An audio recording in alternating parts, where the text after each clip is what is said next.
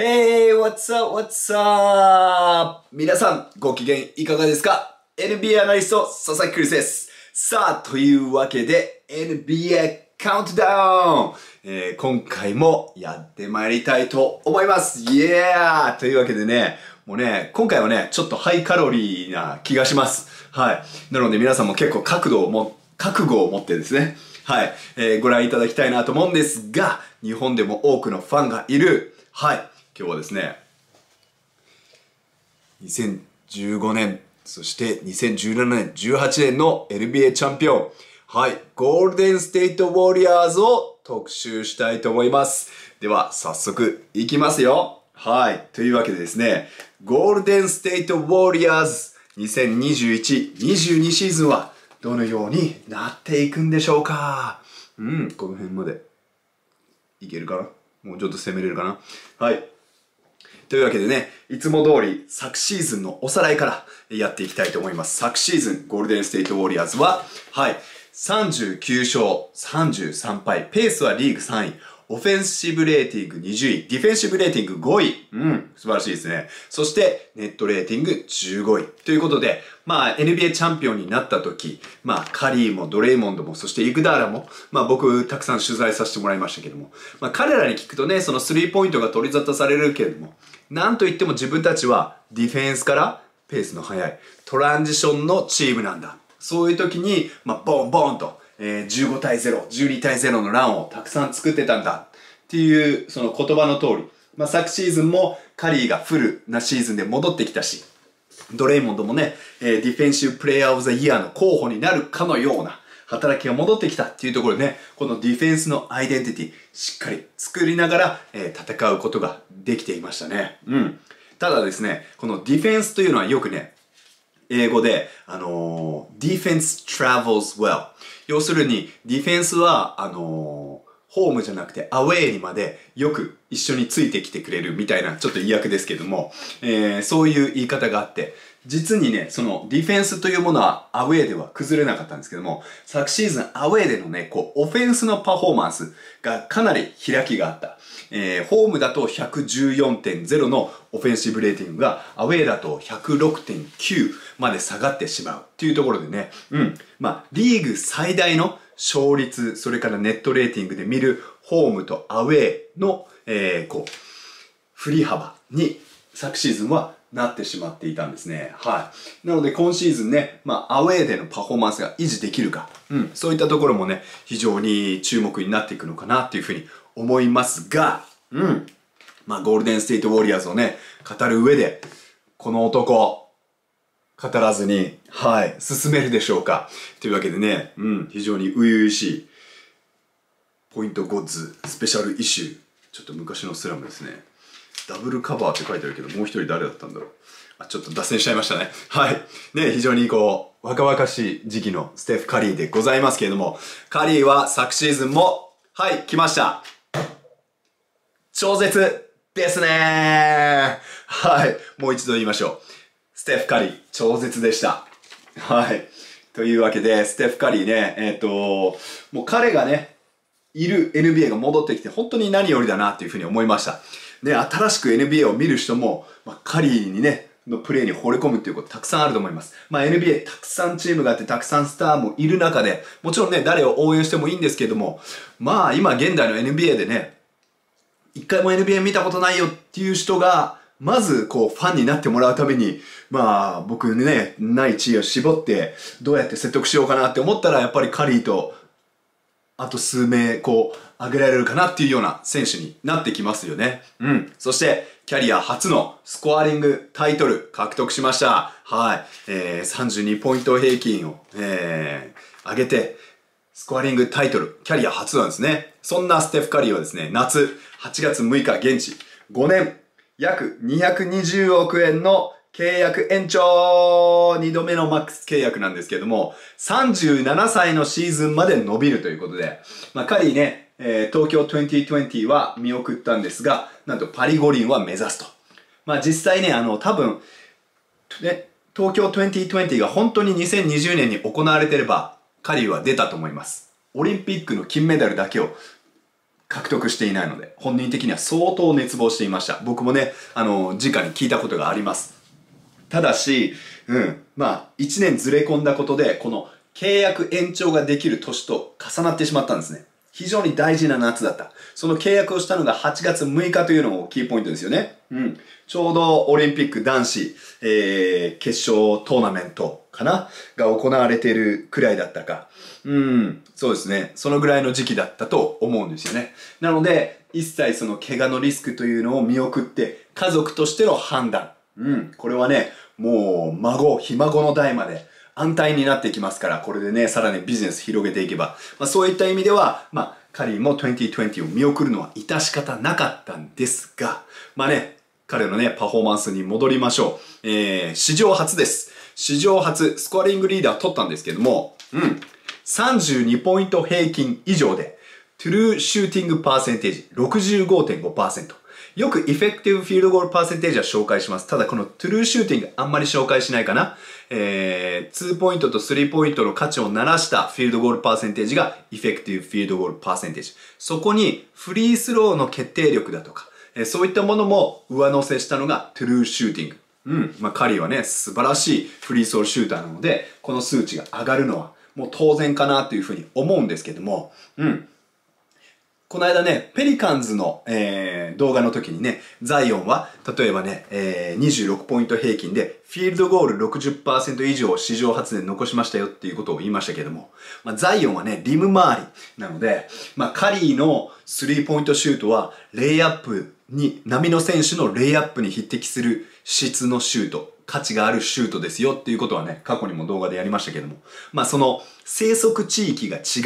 えー、恐竜を比較してどっちが強いかっていう時に、まあ、エフェクティブフィールドゴールとか、トゥルーシューティングとかを使うと、まあ、カリーはザイオンをも凌駕するという効率性になっていたんですね。で、過去にこれが一番高かったのはケビン・デュラント。13、14シーズンに32ポイント平均で、3、えー、失礼。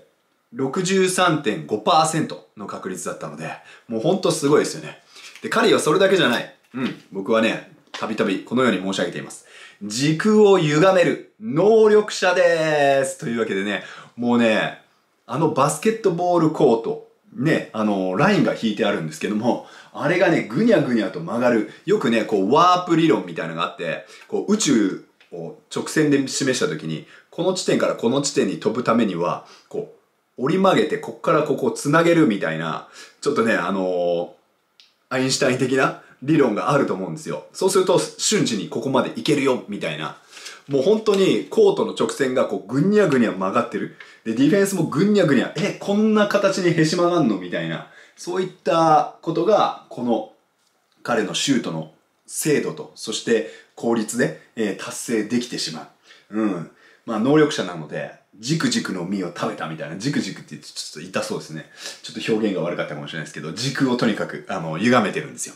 はい。というわけでね、あの、昨シーズンのステフ・カリー、満場一致の MVP 受賞をしたシーズンの時にね、パフォーマンスが上回ってたんじゃないかなっていうふうに思うんですけども、まあね、えー、今シーズンもその健康体維持できるかっていうのは大きなポイントになります。なんと、MVP 投票1位票を5票ももらいました。91票もらったヨキッチについて2番目になんと多い。で、全体の最終的には1位票、2位票、3位票、4位票、5位票とかあるんで、それをまあ合算したポイントでは、ヨキッチ、エンビードに次ぐ3番目に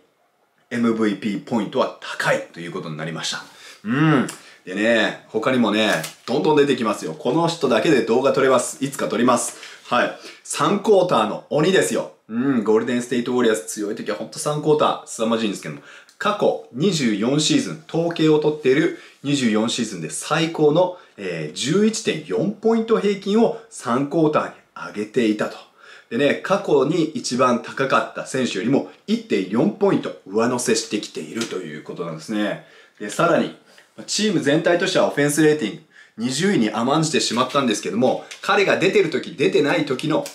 チームのオフェンスのパフォーマンスを比較すると、ドドンこのようになってます。出てるオンコート、出てないオフコート、ということで、まあリーグトップ10から最下位クラスに転落してしまうんですよね。うん。まあ、当然、今シーズン、まあクレイも戻ってきて、カリーが不在の時に、まあどういうふうにこうオフェンスレーティング、こう引き上げていくのかってポイントになっていきそうですよね。うん。まあ、その他で言うと、先ほどね、あのー、ドレイモンド・グリーンの名前もちょっと言いましたけども、まあ、グリーンがね、本当に素晴らしい、え活躍をしたのと、それから、ウィギンス。ウィギンスはキャリアベストシーズンを送ったんじゃないでしょうか。でね、このトレーニングキャンプに向かう中で、ゴールデンステイトウォリアーズの一番の話題は、まあ、クレイの状態がどうかっていうこともさることながら、サンフランシスコでは、えー、ワクチンを接種していなければ、試合に出れないよという条例になっているため、ホームゲームにウィギンスが出れないんじゃないかと。まあ、個人的自由で、えー、打たないことを選択するっていうことを最初に言っていたんですけども、まあ、これは、えー、チームとまた、えー、協議して、ウィギンスも接種した。それにて一件落着。ウィギンスは全試合に出れますよっていうことになったそうですね。まあ今他に話題になっているのは、例えばブラッドリー・ビールだとか、あとはカイリー・アービングですかね。ニューヨークも非常に厳しいこうワクチン接種義務がありますので、カイリー・アービングなんかは、うん、今シーズンは、まあ、ある意味、これこそ助っ人プレイヤーっていうんですかね、うん、パートタイマーみたいな感じで、ホームゲームとホームの練習にすら出れないっていうような情報もあります。まあ、その話はここまで。ということで、ウィギンスキャリアベストシーズン、昨シーズン送りました。2年目のプールが成長した。これもね、後ほど触れたいとも、触れたいと思います。ワイズマンに関しては怪我もあったり、えー、ただね、評価は急降落。僕もね、昨シーズン生配信で、ルーキーのね、こう、格付けみたいなのを、序盤、ファーストインプレッションみたいなのやったんですけど、その時高かったワイズマンの印象、ガガガガガガガッと、まあ、下がってしまった。まあ、この辺はね、また、後ほど触れたいと思います。で、ウーブレイは結果はまらなかったのかなと。まあ、当たり外れが非常に大きい。あとは、ウォリアーズ特有の、こう、フローですよね。フロー。えー、非常にこう、流れをよどませない、そして的確な時のダウンスクリーン、カッティング、まあスプリット系、トライアングルオフェンスを源流とするような、そういったエレメントも入っている、非常にこう、なんていうんですかね、枝分かれしていく、スカウティングが難しいようなオフェンスなんですけども、それと同時にそれを行う選手たちのバスケット IQ が非常に問われる。そのシステムにね、ちょっとはまらなかったのかなっていうふうに思いました。うん。で、昨シーズン、やはりね、カリーとグリーン、1738分一緒に出ました。その時のパフォーマンスこのようになってます。オフェンス、ディフェンス、ネットレーティング6.9。はい。プレイオフでも強豪チームの数字、この2人が同時に出れば、しっかりと叩き出すことができていたんですね。で、まあ、ワイズマンが評価を落としてしまったっていうところで、この2人にワイスマンをプラスしました。その3人の掛け合わせで言うと、ネットレーティングマイナス7.3。うん、やはりちょっと不甲斐なかったかなと。まあね、ここはね、面白い実験、試みではあったんですけども、勝つことには繋がらなかった。そういった中で、センターをルーニーに置き換えるだけで、なんとプラスネットレーティング15.2、凄まじい。うーん。まあ、ルーニーはね、今シーズンも必要になってくる選手かなというふうに思います。あと先ほどプールの成長というふうに言いました。まあ、グリーンと一緒に出てる時間ほどサンプルサイズは少ないんですけれども、221分と非常に少ないんですけども、カリーとこのプールの掛け合わせ、まあ、二人のプレーメーカー、そしてシュートもね、プール相当向上させました。オフシーズンの努力が実ったんでしょう。まあ、今シーズンのオフシーズンも相当取り組んでるらしいので、まあ、僕ね、ルーキーの時は結構厳しい評価もしてしまったんですけども、これは球団見る目があったなと言わざるを得ません。僕もちょっとね、評価基準、評価基準というか、彼に対する評価を今、えー、改めているところです。はい。で、2人が出るとネットレーティング17.9ということで、非常に彼の株というのも上昇しましたね。うん。はい。じゃあ、他にもね、えー、成長した選手いるんですけども、今シーズンどのようになっていくのか、ちょっと水分補給します。水分じゃないか。ラテだから、えー、あれだね、利尿作用あるからちょっとまずいかな。まあでもこの朝のね、ラテが僕にとっては至福の瞬間なので、こう、ポストイット系をね、シャカシャカ準備しながら、朝のラテをね、香りよく、シナモンをちょっと振りまけて、えー、振りまけて、振りかけて いただくというのがね、非常に至福の瞬間でございます。さあ、今シーズン、やはり最大の焦点は、クレイ。どんなクレイ戻ってくるの？はい、ヘッドバンドクレイ、ご機嫌クレイ。いやいや、ゲーム6クレイ。はい、あのサンダーとのね、シリーズですよ。うん。ゲーム6クレイが戻ってくるのか。まあ、アキレス腱からの復帰で、ケビン・デュラントがある意味、まあ、あれがキャリアをもう不意にしてしまうような怪我ではないという、改めてこう、なんていうのかな。アスリートにとっての最大の敵であるアキレス腱の怪我というものを、こう、克服したかのような KD がね、パフォーマンスをもう見せてます。クレイも、どちらかというと能力系というよりは、えー、やっぱシュート力だとか IQ で、それから相手とずらすタイミングとか基礎力、まあ、こういったところで勝負しているので、まあ、クレイもね、そこまでアキレス腱に負担をかけずに戻ってこれるのかなと思いますけれども、その前に前十字の怪我も重なっていて、まあ、クリスマスぐらいと言われているその復帰時期になると、2年半ぐらい、まあ、実践 NBA のコートから遠ざかっていることになるので、まあ、このパフォーマンスがどうなるか、すごく大きいですね。それから、big or small, big or small? はい。ちょっとね、これ書き忘れです。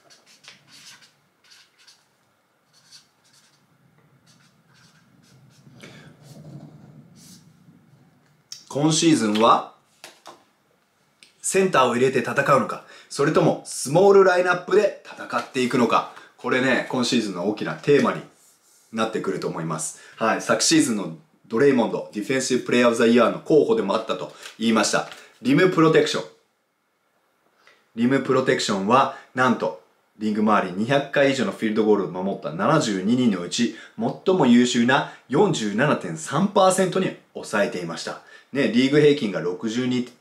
から64%ぐらいで毎年推移するので、そういう意味じゃ本当にすごいですよね。それから、アイソレーションディフェンス。50回以上守った86人のうち最高の 0.46ppp ということなんですけども、ドレイモンド凄まじいですね。うん。ただですね、この数字に現れない働きも当然ありますよね。僕の中ではね、火消し職人でございます。はい、火消し職人。うん。もうね、あの、ぼやとか、ちょっとした火花がですね、ポッと、もう、起きると。もうそれを真っ先に消してしまう。問題が問題として表面化する前に彼がもみ消してしまう。それぐらいのこう、ポジショニングディフェンダーだし、IQ の高いディフェンダーで、もう、チームにとっては本当かゆいところに手が、手が届くドレイモンド。まあ本当に、波の選手だとか、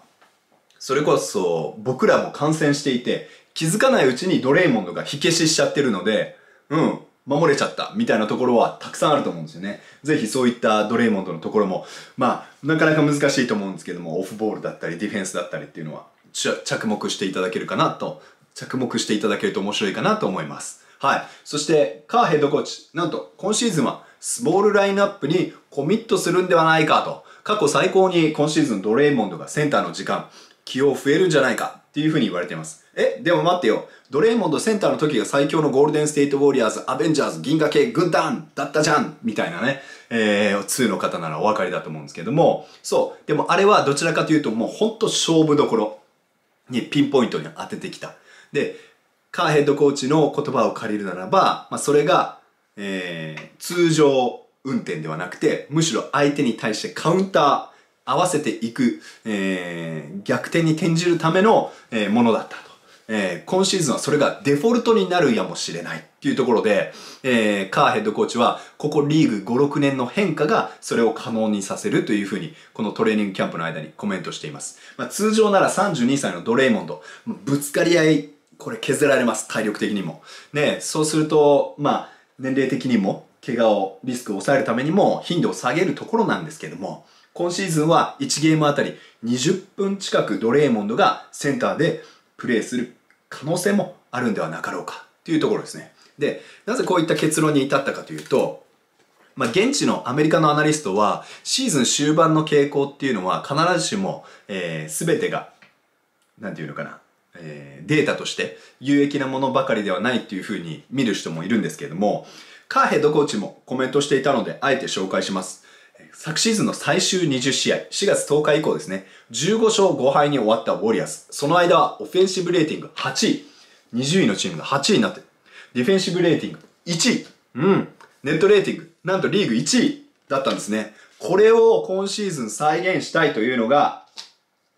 ゴールデンステイトウォリアーズだと思うんです。シーズンを通してね、ネットレーティング1位っていうのは非常に難しいと思うんですけども、その時何が起きてたのかというと、ドレイモンドがセンターになっていた。ワイズマンやルーニーに代わってセンターになり、じゃあパワーフォワード誰がやっていたの？うーん、good question. さらに、えー、プールと同じくですね、もう fan favor、fan fa、favorite。もうね、えー、ひいきのファンのお気に入りの選手の一人になっているでしょう。ファン・トスカーノ・アンダーソン。彼はね、ほんと万能ナイフのような、えー、選手になりつつありますね。例えば、黄金期のハリソン・バーンズがやった役目だとか、まあ、比較には到底ならないんですけども、あらら。比較には到底ならないんですけども、例えばケビン・デュラントがやっていた役割ですよね。はい。パワーフォワードのところで、えー、彼が果たす役割が非常にこの最終20試合大きかった。で、今シーズンもそれをやるでしょう。うん。実はね、グリーンとの併用もバッチリなんですよ。数字的にもバッチリ。で、将来ね、急速な、あのー、成長があれば、今シーズン、えー、ルーキー19歳、クミンガですね。クミンガも、あのー、トレーニングキャンプの間、カーは、パワーフォワードとしてまずはリーグの中では使っていくのがいいんじゃないか。ハンドオフをやらしたり、スクリーンダイブやらしたりだとか、まあ、バリバリの運動能力系ですからね。なので、トスカーノ・アンダーソンの役割にクミンガも将来組み込まれるかもしれません。ただし、やっぱりカーヘッドコーチも言っていたけども、スリーポイントシュートが増えて、要するにあまり上手でない相手が警戒しなくても済むような選手を同時に2人起用するのは今の NBA では死活問題とまあ、かなり難しいという言い方をしてるんですけども、そういった意味で、まあ、クミンガとドレイモンドの併用っていうのが、すぐにできるかはわからないんですけども、まあ、ここはね、すごく注目に値すると思います。それからトスカーのアンダーソンでなければ、オット・ポーターですね。オット・ポーター。うん。もう、あのジョン・ウォールと一緒にワシントンでプレイしてた時は、ジョン・ウォールが演出するコーナー3をバンバンバンバン決めていた。うん、ここ5シーズンでは、キャッチシュートだけで言うとスリーポイント44%ぐらいというね、えー、そういったデータも出てます。オット・ポーター。カッティングもうまいので、まあ、ウォリアーズがやるスプリットアクションからの飛び込みだとか、そういったものもしっかりできるんじゃないかな。まあ、調子次第ですよね。調子次第で、この、えー、ビッグ・オール・スモーこのスモールラインナップの4番は誰になるか、いろいろ変えていくんじゃないかな。ただし、クミンガや、それから、まあ、ポーター、まあ、この2人に比べると、えー、トスカのアンダーソンの方がプレーメーカーとしては上ですね。アシストもしっかりさばける。ボールムーブメントと選手の動きが非常に重要なウォリアーズなので、まあ、やっぱり、うん、えー、JTA 評価はかなり高いです。うん。さあ、このオフ。そういった意味で、スモールラインナップになると誰が一番生きるのか。はい、やっぱりこの人ですよね。うん。この人を生かすための補強を、やっぱり今シーズンしてると思います。えー、ビエリッツァ、ストレッチ4、そういったストレッチビッグですね、の仕事もできると思います。イグダーラ、イグダーラなんかもスモールラインナップの4番もできると思うんですけども、まあ、昨シーズンのマイアミでどのぐらい貢献できたかっていうと、まあ、チームはもろ手を挙げてね、復帰を歓迎していますけれども、まあ、どのぐらい貢献度が今シーズンあるのかっていうのはまだ見なきゃいけない。で、ポータージュニアは先ほど言った通りです。うん。で、スペーシングとボールムーブメントで、このオフェンシブレーティングを数年でやっぱりトップ10まで持っていけるか。ディフェンシブレーティングは今シーズンも5位ぐらいを狙えると思うんですよね。だここが非常にポイントになる。そして若手はどのように起用していくのか。うん。ワイズマン。そしてカミンガ。えー、ね、G リーグとも、G リーグでもうクミンガも、えー、イグナイトで、えー、経験ありますけれども、そういう意味では、えー、時に G リーグにも送ったりするのかなっていうふうに思います。昨シーズンのワイズマンを、まあ、まとめるとですね、まあ、ある意味、昨シーズンは練習生、アメリカでいう、いわゆるレッドシャツですね。うん。まあ、それで今シーズンの2年目どうな、どういう風になっていくのかっていうのが非常に注目だと思います。うん。まあ、若干ね、その半月版の、えー、怪我で、えー、4月に離脱して、まだまだフルコンタクトのドリルができていないということなんですけども、彼を育成するためにチームはなんと、あのーヨキッチを育成したと言われるミロジェビッチ、えー、アシスタントコーチをね、招聘しているそうです。そして、今シーズンはね、昨シーズン以上に、まあ、センターのラインナップ減るからね。で、ルーニーは確実に使っていくっていうことで、まあ、辛抱強くワイズマンに関しては育成していくんじゃないかなっていうふうに思います。うん。あとは元ネッツのヘッドコーチ、アトキンソンさんですね。まあ、ネッツの時にもかなり育成の手腕が評価された方です。彼も入ってますね。で、7位のクミンガ。彼もね、天井知らずの運動能力だと思います。まあ、ワイズマンと、えー、クミンガに関しては、まあ、ゴールデンステイトウォリアーズ。やっぱり、ドレイモンド、クレイ、カリー、みんな30代半ばにこう差し掛かっていく中で、この19歳、それから14位でしたっけえー、指名したムーディーですね。ムーディーも優秀な 3&D になりますけども、19歳です。えー、クミンガとムーディーは19歳、えー、ワイズマンは20歳。そういった意味で、まあ、未来への橋となるこう選手たちがいるわけです。この2人はね、特にワイズマンとクミンガに関しては、やっぱり投資ですよね。うん。カリー契約、まあ、この37歳まで続くカリーの契約、えー、それが満了する頃に、この選手たちが完成されていて、まだまだ戦える。カリーはベテランのリーダーシップでそれをサポートする。みたいな感じになっていくといいのかな。で、もちろんですよ。はい。もう、ここでね、なんていうんですか、ウルトラ C みたいな感じで、じゃあ、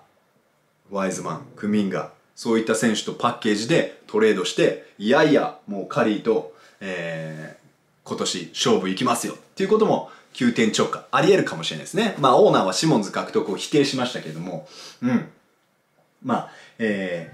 ー、オーナーはこの未来というものを、まあ、差し出してまで、そこまで動きたくないっていうのが現状の、えー、伝え、聞かれるところだと思います。はい。さあね、えー、駆け足でね、僕の気持ち的にはやってきましたけども、もう25分を、えー、消化しています。まあ、改めてになるんですけども、今シーズン、ジョーダンプール、1年目から2年目への変貌ぶりが素晴らしかった。で、カーヘッドコーチね、先発への強い意欲も示していて、プレシーズンゲーム1、前半だけで15得点、結局22分間で30ポイント。で、今シーズンね、まあ、クレイがどのタイミングで戻ってくるかというところもありますけれども、まあね、前半戦のこう、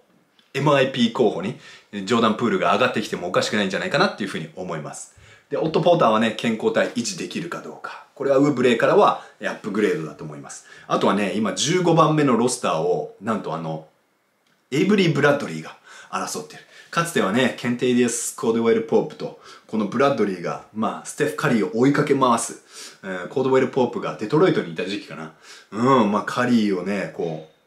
いかにこうフェイスガードしてディナイしているかっていうのが凄まじかったんですけども、うん。まあ、かつてはこのブラッドリーも一番スッポンディフェンスでカリーにしがみついていたプレイヤーの一人で、まあ、カリーもね、このブラッドリーが加われば心強いのかなと思う反面、まあ、今ちょっと怪我でね、トレーニングキャンプ出遅れているというような情報もありますけども、ゲリー・ペイトン2世。うん。ゲリー・ペイトン2世も、現状だけで言ったらやっぱりリーグ有数のディフェンダーなので、まあそういった選手が入るのもいいのかなっていうふうには思います。うん。さあ、えー、いろいろ考えていきたいと思うんですけども、あとね、ちょっとね、一つ余談になるんですけど、まあ、時空を歪めているカリーがいますけども、まあ、ゴールデンステートウォリアーズと言われると、やっぱりその、スリーポイント、スプラッシュブラザーズ、注目されると思うんですけども、一番大事なのは、僕常々解説で言ってるのは、その、スリーポイント、引力の法則というのを、最も効果的に活用している。要するに、自転車の前輪と後輪である、その、リング周りのショット、それからスリーポイントショット。この2つがブレーキかからずよどみなく回ることで、しっかりスムーズに目的地に到達できる。もはや現代の、えー、バスケットボールは、えー、どっちにブレーキがかかっても、しっかりとした攻撃っていうのは構築できないんですよね。はい。そういった中で、もう本当に15年に優勝した時もそうだったんですけども、ペイント内得点、実はゴールデンステートウォリアーズ、決して少なくないんですよ。えー、他のチームが取るような形で取っていないんだけど、データだけ見ると、優勝した15年は、リーグ2番目に多いペイント内得点でした。45.3ポイント平均。で、翌年、えー、クリーブランドにファイナル負けましたけども、リーグ9位。うん。で、46.6ポイントでした。で、その後、徐々に順位が下がってるんですけども、このスリーポイント引力の法則に気づいて、各チームがですね、スリーポイントを増やしました。そしてそれによって、ペイントアタックもまたしっかりできるようになってミドルレンジをどんどん排除していくことで実はこの2位だった45.3ポイントから昨シーズンは、えー、ほとんどこう下がって順位は下がってしまって平均以下になってるんですけどもそれでも45.4ポイントとまあウォリアーズがペイント内で取っているその数値自体はそんなに変わってないんですね。はい。まあ、もちろん、KD が入ったことでミドルレンジのオプション。カリーはどっから打っても効率がいいので別にそれは構わないとか。まあ途中ね、こうディアンジェロ・ラッセルが来て、それもね、ミドルレンジが増えたりだとか。そういったようなのはありましたけども、まあ、そういった中でウォリアーズがスリーポイントだけじゃなくてどのようにこうペイントアタックするかっていうのも注目すると、まあ、非常に面白いですしカリーのまあ、フローターとかいろんな角度から決めるあのショットですよね本当にサーカスショットに見えるけどもまああれもね彼の本当鍛錬の賜物だと思いますのでぜひチェックしてくださいさあ、えー、最後に予想先発などもやっていきたいと思うんですけども予想先発はいカリーそれからジョーダン・プールトンプソン戻ってくればトンプソン。まあ、ここにデビッド・リーなんかも入れてもいいのかなとは思思いますけれども、えー、今、すべての条件がプールにこう向いてるかなっていうふうに思います。それから、ウィギンス、ドレイ、ドレイモンド、そしてルーニーでスタートというふうになっていくと思うんですね。はい。で、ルーニーに関しては、やっぱりこう、ウエストでも、こう、ヨキッチだとか、AD とか、こういったマッチアップでは必須になりますし、まあ、東に目を向ければ、エンビードなどがいますよね。なので、ルーニーの、こう、存在価値がなくなるっていうわけではないんですけども、まあ、ドレイモンドセンターの時間にもぜひ注目してほしいなっていうふうに思います。で、今シーズンのウエストは、レイカーズ。レイカーズの進化っていうのはやっぱりプレーオフで測られるべきだと思うんですけども、まあ、レイカーズを除いて結構チャンスがあると思うんですよね。というのはやっぱりクリッパーズのレナードが大部分を欠場するでしょう。デンバーのマレーも今シーズン、まあ、どのぐらい戻ってこれるのか、うん、正直定かではない。で、サンズやユタは完全体なので、まあ、この2チームはちょっと過小評価されがちですけれども、まあ、レイカーズと合わせて3強になっていく中、まあ、ゴールデンステイトウォリアーズが、カリーが超絶ですねというプレーを見せてくれれば、4位まで食い込むことも可能なのかなっていうふうに個人的には思っています。ただね、えー、クレイがそこにさらに加わることで、えー、クリスマスをターゲットにしているという情報ですので、まあ、プレーオフに例えば5位シード、6位シードで入っても、まあ、上位陣を転覆できるだけの、本当にね、えー、危険な存在になっていくと思います。ただ、カンファレンスファイナルまで進むためにはもう、クレイのこう状況がすこぶるいいこと。そして、まあ、34歳に今シーズンになります。ステフ・カリーが今シーズン余すことなくプレーできるか。怪我なくプレーできるか。そして彼が超絶パフォーマンスを引き続きやっている今キャリアのピークにいるこの瞬間を逃さずチームはそれを可能性を最大化できるか。うん。こういったところがすごく注目ですね。カリーに関しては何らかのアクシデントがあったとすると、昨シーズンもありました。そのオンオフの全然パフォーマンスが違いましたよね。もうかなりのチームにとってブレーキになって、一気に順位も停滞する上、こう戻ってきたばかりのクレイとか、それから若手に相当プレッシャーがかかってしまって、まあ、ね、そういう意味じゃプレインまで、んと幅広く、うん、可能性は出てきてしまうのかなと思いますけども、フルメンバーでいくと、いや、やっぱり今シーズンもウォリアーズを見ていかないといけないんじゃないかなっていうようなチームになりますよね。はい。というわけで、今回も動画チェック。ビッグビッグ感謝です。皆さん、ありがとうございます。はい。というわけで、引き続き、チャンネル登録、高評価、